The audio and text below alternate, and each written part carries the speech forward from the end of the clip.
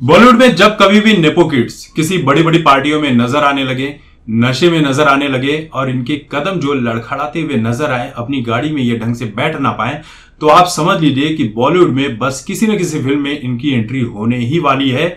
बस ये उसके लिए एक रीति रिवाज है बॉलीवुड में कि आपको कम कपड़े पहनने हैं अपने पूरे शरीर का दिखावा करना है, आपको ये दिखाना है कि आप कितने हॉट हैं, कितने हैंडसम हंक हैं, और उसके बाद आपको थोड़ा सा नशा करना है ताकि आपके बारे में मीडिया में लगातार चर्चा होती रहे और ये चर्चा रुकनी नहीं चाहिए। और बॉलीवुड में ऐसा ही होता है। अब जो अजय देवगन की बेटी है न्यासा, ये एक पार्टी से निकल रही है, काफ़ी नशे में नज़र आ रही है। लोग यही कह रहे हैं कि इसने इतनी शराब पी रखी है कि अपने कदम पर ढंग से चल नहीं पा रही है।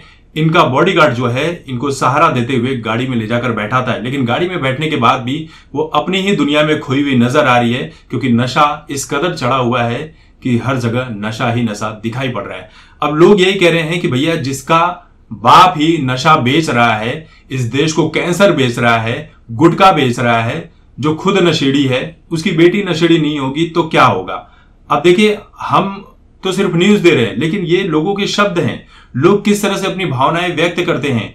ये चीज़ें, ये सभी जो स्टार्स हैं, इनको नज़र आती है कि लोग हमारे बारे में क्या बात कर रहे हैं। लेकिन उसके बाद भी ये नहीं रुकते हैं, क्योंकि इनका एक ही धंधा है, एक ही धर्म है मनी भाई मनी भाई है तो सब कुछ है, बाकी इन्हें किसी बातों से कुछ फ़र्क नहीं पड़ता है।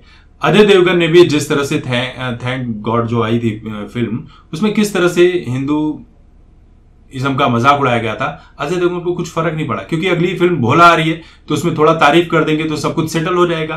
तो ऐसे ही चलता है। ये जानते हैं कि जनता कुछ समय के बाद चीज़ों को भूल जाती है तो भैया करते रहो। कुछ फ़र्क नहीं पड़ता, पैसे आना ज़रूरी है।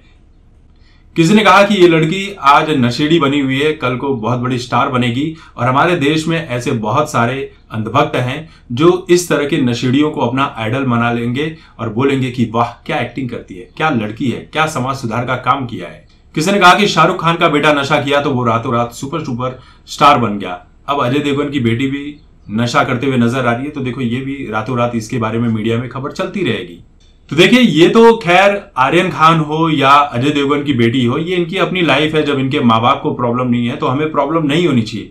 प्रॉब्लम वहाँ पर होती है जब इन जैसे नशा करने वाले लोगों को इस देश के कई लोग अंधभक्ति में इतना फॉलो कर लेते हैं कि उन्हें लगता है कि ये जो कर रहे हैं, ये बहुत ही महान काम कर रहे हैं, समाज के लिए काम कर रहे हैं तो वो भी नशा करना शुरू कर देते हैं और ऐसे कई लोग नशे के चक्कर में अपने पैसे बर्बाद कर लेते हैं, अपने घर को बर्बाद कर लेते हैं, कैंसर के शिकार हो जाते हैं, किसी की किडनी सड़ जाती है, किसी का कुछ हो जाता है, कोई परिवार के किसी काम नहीं रहता, बल्कि ये लोग, जो नशा करने वाले लोग होते हैं, ये अपने परिवार के ऊपर कुछ अच्छा तो नहीं करते, बल्कि सिर्फ़ एक बोझ बनकर रह जाते हैं, और इनके परिवार वाले उसी बोझ को ढोते रहते हैं पूरी ज़िंदगी, जिसको ढोते ढोते उनका जो कमर है, वो टूट कर तितर बितर हो जाता है।